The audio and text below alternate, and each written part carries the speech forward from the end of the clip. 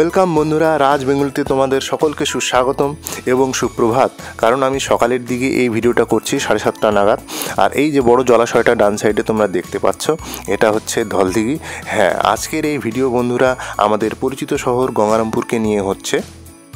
তো দ্রোণের মাধ্যমে পুরো উপর থেকে তোমাদের গোটা গঙ্গারামপুর শহরটাকে পরিচয় করিয়ে দেব। তো যারা গঙ্গারামপুরবাসী আছো, তাদেরকে আশা করছি ভালো লাগবে। এছাড়াও যারা আশেপাশে আছো, যেমন পতিরাম, বুনিয়াদপুর বালুঘাট থেকে, তারাও এটাকে দেখে আশা করছি খুশি হবে এবং গঙ্গারামপুর সম্পর্কে অনেক কিছু ধারণাও হবে। আমরা তো সাধারণত নিচ থেকেই দেখি, কিন্তু উপর থেকেও আজকে চলো দেখে নেব গঙ্গারামপুর শহরটা আসলে দেখতে কেমন। তো ভাই, শীতের সময় যে কারণে সকালের দিকে দেখো অনেকটা আর কি ফগি ওয়েদার তো তারপরে যতটা পেরেছি আর কি ক্লিয়ার ছবি নেওয়ার আমি চেষ্টা করেছি। আর হ্যাঁ আমিও ফার্স্ট টাইম তোমাদের মতোই এরকম গঙ্গারামপুর শহরটাকে উপর থেকে দেখছি। তো চলো দেখে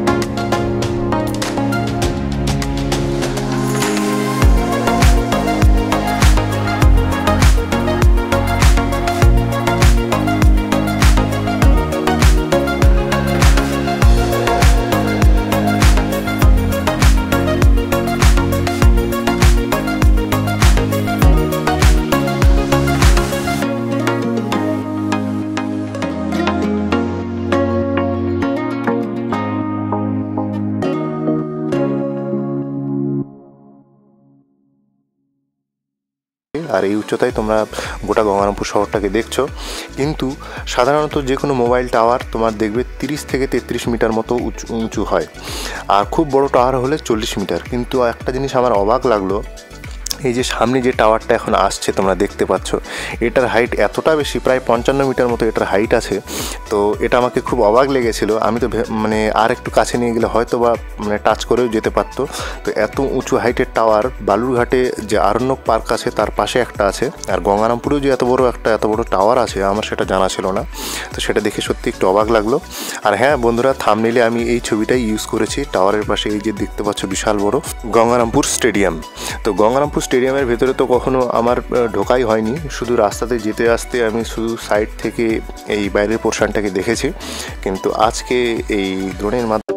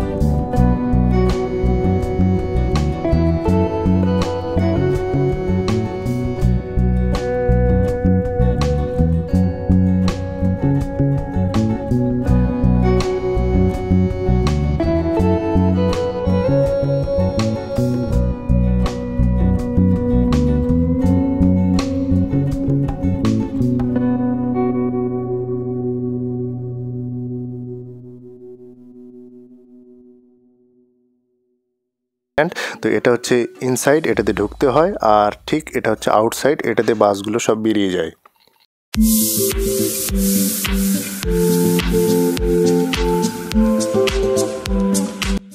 বন্ধুরা, এটাই হচ্ছে মেন গঙ্গারামপুর আর দেখো ডান সাইডে রয়েছে কসমোবাজার আর ঠিক এটারই সামনে নাইট সার্ভিস বাসগুলো এবং পাবলিক বাসও মাঝে মাঝে এখানে দাঁড়ায় আর স্টেট বাস তো এখানে দাঁড়াই আর দেখো, তার পাশেই রয়েছে এই যে ডান সাইডে আর একটা বড় বিল্ডিং এটাই হচ্ছে কলকাতা বাজার। হ্যাঁ এবার এটার একটা ক্লোজ লুক দেখিয়ে দেবো ফ্রন্ট ভিউ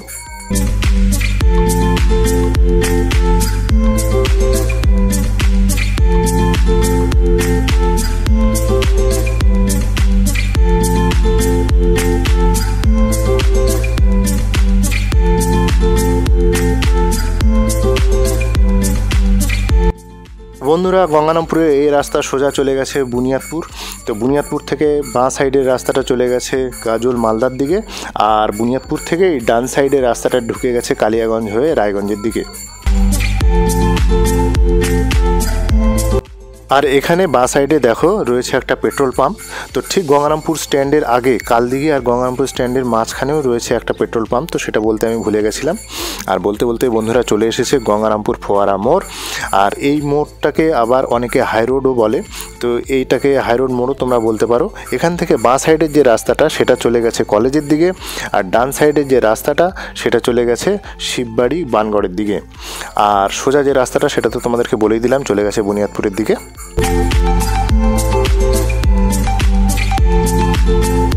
আর এই যে ডান দিকে তোমরা দেখতে পাচ্ছ, বড় মাঠ, এখানেও খেলাধুলা হয়। আর পাশেই রয়েছে নদী গঙ্গারামপুরের। আর এই নদীর পাশ বরাবরই এই যে রাস্তাটা চলে গেছে। আর এখানেও কিছুদিন আগে আমি ছট পূজার একটা ভিডিও করেছিলাম। এই নদীর পাশেই ছট পূজা হচ্ছিল। আমরা ফোয়ারা মোড়ের পাশে এই ডান সাইডের বড় বিল্ডিংটাই হচ্ছে নিউ মার্কেট বা ক্ষুদিরাম মার্কেট। আর এই সোজা রাস্তাটা একেবারে চলে গেছে ট্রেন লাইন ক্রস করে গঙ্গারামপুর কলেজে। তো একদম ট্রেন লাইনের পাশেই রয়েছে গঙ্গারামপুর কলেজ। বন্ধুরা, এই ছিল গঙ্গারামপুর সম্পর্কে ছোট্ট ভিডিও, বানাতে গিয়ে একটা বড় ভিডিও। তো ভিডিওটাকে যদি ভালো লাগে, তাহলে আগে লাইক, শেয়ার আর কমেন্ট অবশ্যই করে দিও। তো দেখা হবে আবার নতুন ভিডিও নিয়ে। তোমরা সকলে ভালো থেকো, সুস্থ থেকো। বাই!